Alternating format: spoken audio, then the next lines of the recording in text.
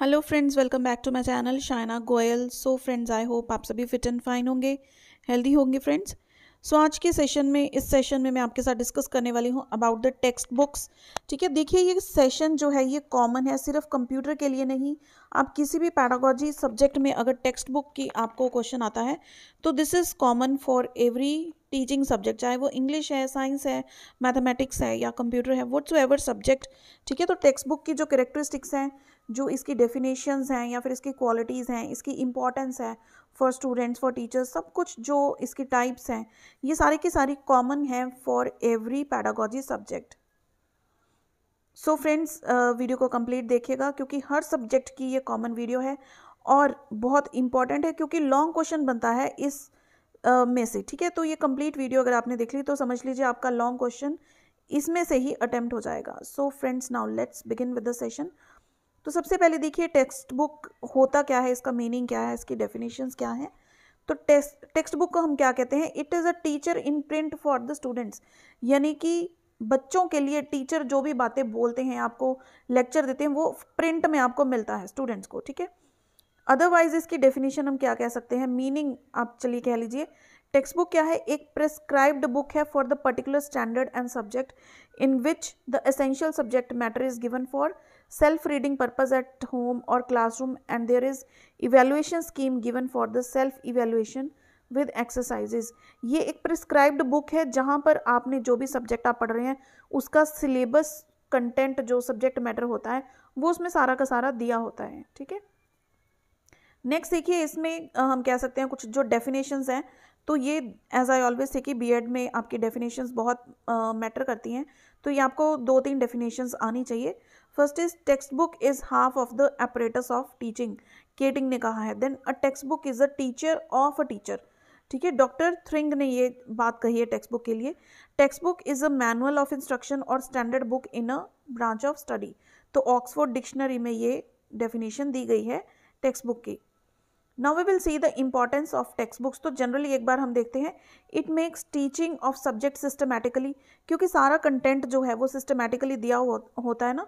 तो it present in concrete form the limited portional language any subject to be taught in a given time तो जो course की text book है जिस class की है तो वही सिलेबस उसमें गिवन होता है और उसी टाइम पर कंप्लीट करना होता है तो लिमिटेड पोर्शन किसी भी सब्जेक्ट का दिया होता है। ठीक है? It help student for self study it also serve as index for academic achievement तो it is also a memory aid for teachers teachers अब देखिए लेक्चर डिलीवर कर रहे हैं तो हो सकता है कुछ कंटेंट वो मिस कर जाएँ। तो टेक्स्ट बुक में से देखेंगे कि कौन सा टॉपिक है, कौन सा सब टॉपिक है। उनको आता सभी कुछ होता है, लेकिन हम कई बार बताना भूल जाते हैं। तो वो क्या है? एक मेमोरी एड होता है टीचर्स के लिए। It help in supplementing pupils learning experience ठीक है? अब ये तो देखिए जो कॉमन पॉइंट्स हैं, हम कह सकते हैं इंपॉर्टेंस ऑफ़ टेक्स्ट बुक्स ठीक है, अगर आप जनरल देखना चाहें। लेकिन इसको ना हम दो पार्ट्स में डिवाइड कर सकते हैं। First is importance for teachers then is importance for students ये मैं वैसे एक सेशन में एक अलग वीडियो में बता चुकी हूँ तो यहाँ पर मैं आपको उसकी स्क्रीन आपके साथ शेयर करने वाली हूँ। सो so, ये आप देख सकते हैं ये मैं टेक्स्ट बुक की पहले भी वीडियो डाल चुकी हूँ मैथमेटिक्स के लिए। तो सभी के लिए ये कॉमन होती है ठीक है? आप मैथमेटिक्स वाली देखेंगे तो वो सभी सब्जेक्ट्स के लिए आपकी कॉमन चलेगी। अब देखिए इसकी इंपॉर्टेंस दो पार्ट्स में first is for teachers then is for students teachers के लिए क्या है? It is a guide act as a guide ठीक है? Then structure and aims of syllabus जो स्ट्रक्चर होता है सिलेबस का वो टीचर्स को पता लगता है ताकि उसी के अकॉर्डिंग वो क्लास में अपनी जो टीचिंग है, उसको कंटिन्यू कर पाएँ। Then is for reference material अब जो नॉलेज टीचर को पता है, साथ ही में जो बुक में गिवन है, वो एक तरह का रेफरेंस मटेरियल एक्ट करती है। सेव्स टाइम एंड एनर्जी अब चीज़ें टीचर्स लिख कर लेकर आएँ, इससे बेटर है कि बुक में से वो देखें क्या पढ़ाना है और सीधा बच्चों को लेक्चर डिलीवर करें। चाहे वो प्रेजेंटेशन के थ्रू है ब्लैक बोर्ड टीचिंग है whatever teaching aid the teacher is using then is exercise work अब जो क्वेश्चंस बुक में बने हुए होते हैं, वो कितनी हेल्पफुल होते हैं, सारा कंटेंट कवर करते हैं तो टीचर्स वो होमवर्क असाइन कर सकते हैं, ठीक है? तो लास्ट में देखिए असाइनिंग होमवर्क बुक में से देख के देन इज़ लेसन प्लानिंग अब आपको पता है, जैसे कि देखिए क्लास में टीचर आते हैं तो पूरी प्लानिंग के साथ आते हैं ना तो जो लेसन जितना part of the lesson teacher ने पढ़ाना है क्लास में, उसकी वो प्लानिंग करके आते हैं। तो बुक उसमें जो टेक्स्ट बुक है, वो बहुत हेल्पफुल होती है, ठीक है? देन देखिए फॉर स्टूडेंट्स इसकी इंपॉर्टेंस क्या है? सेल्फ स्टडी सबसे पहले हमारे पास अगर टीचर्स नहीं है कोविड है, कुछ ही है, ठीक है? हम एक कमरे में बंद है, सिर्फ़ हमारे पास एक किताब है, हम उससे देख के पढ़ सकते हैं। क्लियर अब अगर देखिए, आपके पास ये जो स्क्रीन आपके साथ में शेयर कर रही हूँ, आप वीडियो आपकी नहीं चल रही है, लेकिन आप इसमें से देख के पढ़ सकते हैं ना प्रॉपर कि टीचर्स के लिए इंपॉर्टेंस क्या है स्टूडेंट्स के लिए इंपॉर्टेंस क्या है। तो इसी तरह टेक्स्ट बुक सेल्फ स्टडी का बहुत हेल्पफुल वे है। Then useful for backward students. अब जो बैकवर्ड स्टूडेंट्स होते हैं, वो रेपिटेशन कर सकते हैं। दोबारा दोबारा चीज़ें पढ़ेंगे तो आपके दिमाग में जाएँगी ना। देन रिवीजन के लिए हेल्पफुल है प्रैक्टिस कर सकते हैं। देन कॉन्टीन्यूटी बनती है बच्चों की। अगर आपके पास मटेरियल है पढ़ने को, ठीक है, आपके पास टेक्स्ट बुक है, आप उसमें से क्वेश्चंस कितने मर्ज़ी प्रैक्टिस कीजिए तो वो क्या है, आपकी कॉन्टीन्यूटी बनी रहेगी। देन इज़ सिलेबस कि सिलेबस बच्चे भूलेंगे नहीं कि ये हमारा सिलेबस है, इसमें से पढ़ना है।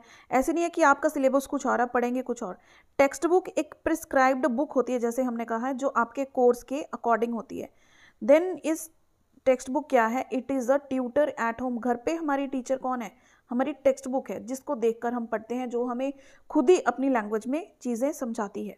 आई होप ये चीज़ क्लियर हो गई। तो इस तरह से आप इसको प्रेजेंट करेंगे ना ये सेंटर में आप लोग लाइन ड्रॉ मत करना, ये सिर्फ़ मैंने आपको एक्सप्लेन करने के लिए की है। तो आप इसको बता सकते हो इम्पॉर्टेंस ठीक है, इस तरह से लिखेंगे इम्पॉर्टेंस यहाँ पे लिखेंगे for teachers then for students फिर इसके आप टीचर्स हेडिंग डाल के फॉर टीचर्स आप इसके पॉइंट्स लिख देंगे देन फॉर स्टूडेंट्स इसकी इंपॉर्टेंस फिर इसके पॉइंट्स लिखेंगे। This is the proper way of representing this part clear so वापस आ गए हैं अपने ओरिजिनल पेज पर। तो देखिए, इसके बाद हमारे पास क्या है? दैट इज़ द क्वालिटीज़ जो हम कहते हैं कि क्वालिटीज़ क्या होनी चाहिए? तो दो तरह की होती हैं basically qualities first is external factors या फिर एक्सटर्नल क्वालिटीज़ ठीक है? एक्सटीरियर इसको बोल सकते हैं। और दूसरा क्या है हमारे पास? इंटीरियर ठीक है? ये हम दोनों देखेंगे। तो यहाँ पे मैंने सभी पॉइंट्स एक बार मेंशन कर दिया आप चाहे तो इसका स्क्रीनशॉट ले लीजिए। यहाँ से क्या है ना, आपको रिवाइज करना इजी हो जाएगा। तो यहाँ से आप रिवीजन कर सकते हैं। इसके डिटेलिंग आपको इन द कमिंग स्लाइड्स आपके साथ में शेयर करने वाली हूँ। तो सबसे पहले एक्सटर्नल फैक्टर्स क्या है कि बुक फिजिकली कैसी है? ठीक है फिजिकली कैसी है मीन्स एक्सटर्नल फैक्टर्स उसके क्या हैं? उसका कवर पेज किस तरह का है? बैक पेज किस तरह का है? पेपर का साइज़ उसकी क्वालिटी किस तरह की है? ठीक है? जैसे शाइनिंग से पेपर होते हैं ना कलरफुल इमेजेस होती हैं तो वहाँ पर हम कहते हैं कि पढ़ना भी इजी रहता है। Size and spacing of letters letters में हम कंटेंट की बात नहीं कर रहे हैं। कंटेंट को छोड़कर जो सारी चीज़ें होती हैं यूज़ फ़िज़िकल जो मैंने आपको चीज़ बोली है, वो क्या है? इसके एक्सटर्नल फैक्टर्स आएँगे। Size and thickness of the book उसकी बाइंडिंग कैसी है? मार्जिन किस तरह से ड्रॉ हैं? पिक्चर्स और डायग्राम्स किस, कितनी इफ़ेक्टिव हैं? पैराग्राफ्स हैं या नहीं? अट्रैक्टिवनेस है, यानी कि कलरफुल है। फिर प्राइस ऑफ़ द बुक यानी कि बुक बच्चे अफोर्ड कर भी सकते हैं कि नहीं? Then is updation, up updatation लिखा हुआ है। अपडेशन है ये कि बुक जो आपके पास है, वो अपडेटेड वर्जन है या नहीं।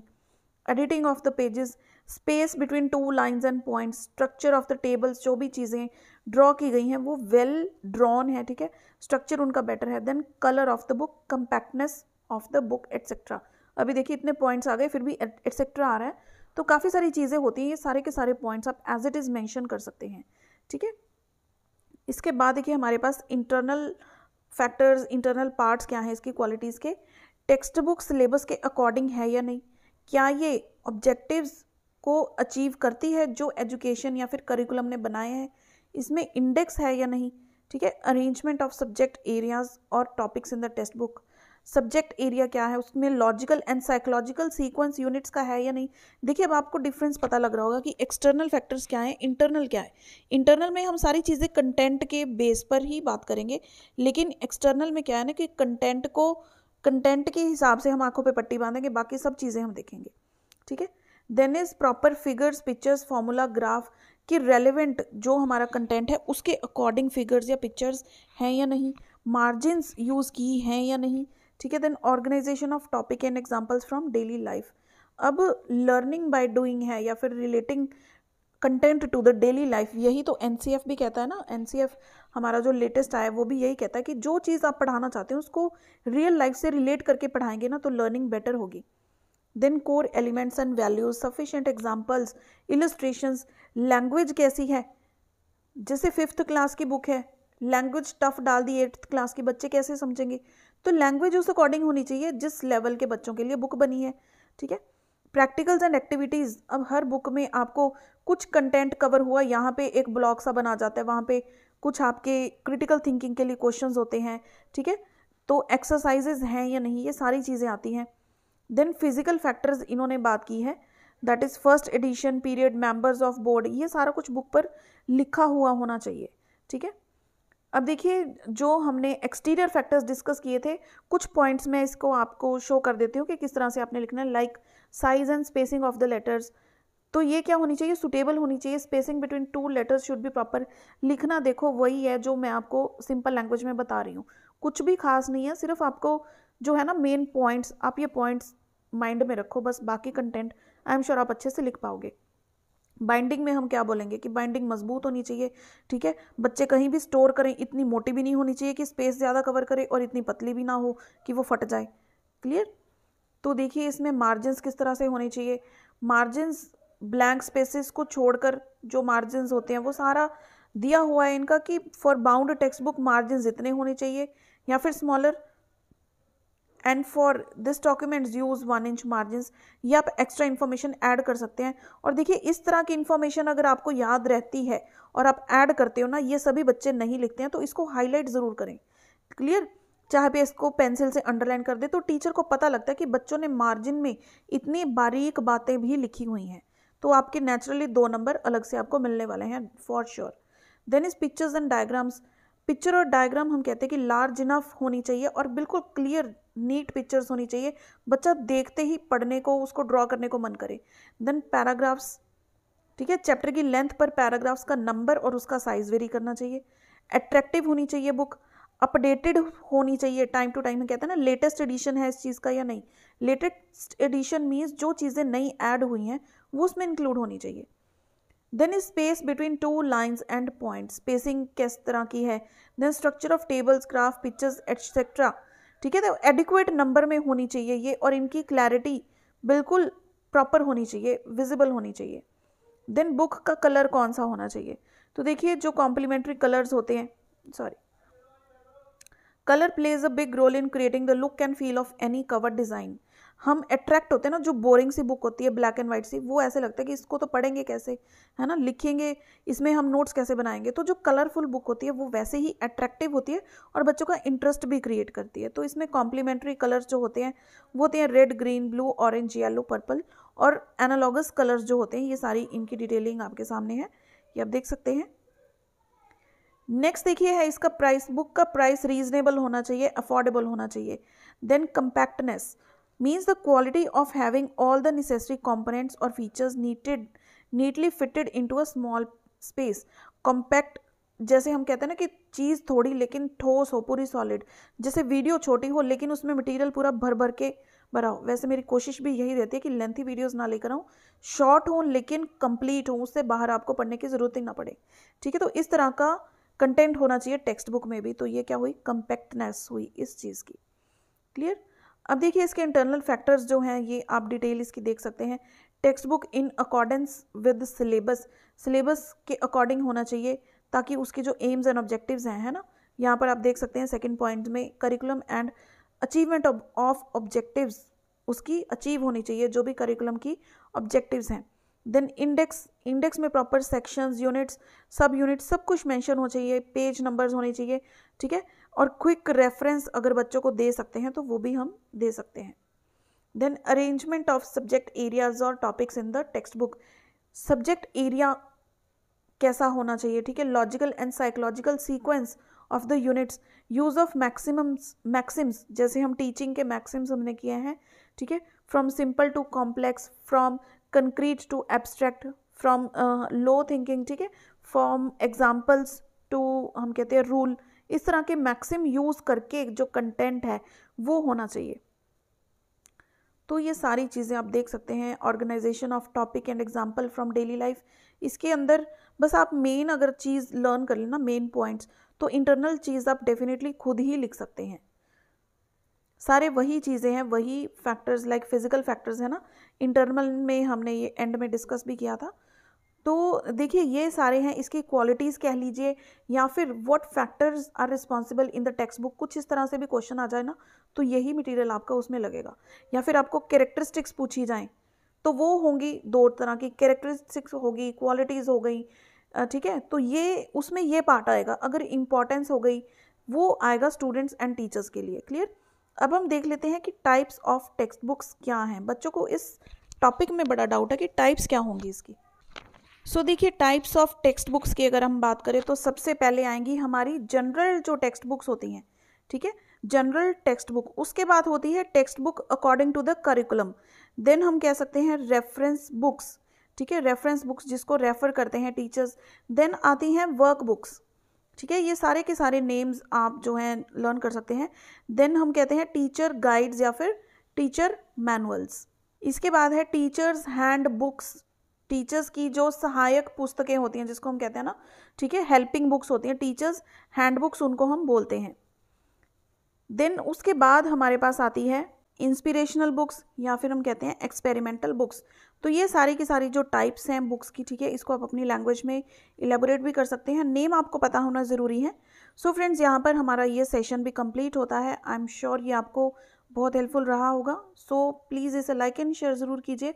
और देखिए इसके जो प्रीवियस सारे सेशंस हैं वो मैं ऑलरेडी अपलोड कर चुकी हूँ। आपको चैनल की प्लेलिस्ट में फोल्डर मिल जाएगा पैडागोजी ऑफ़ कंप्यूटर साइंस आप वहाँ से ये सारे जो वीडियोस हैं वो आप चेक कर सकते हैं। साथ ही में प्रीवियस ईयर क्वेश्चन पेपर भी आपको वहीं पर मिल जाएगा। वो आप वहाँ से देख सकते हैं। सो so फ्रेंड्स मिलते हैं अगली वीडियो में। देन की वॉचिंग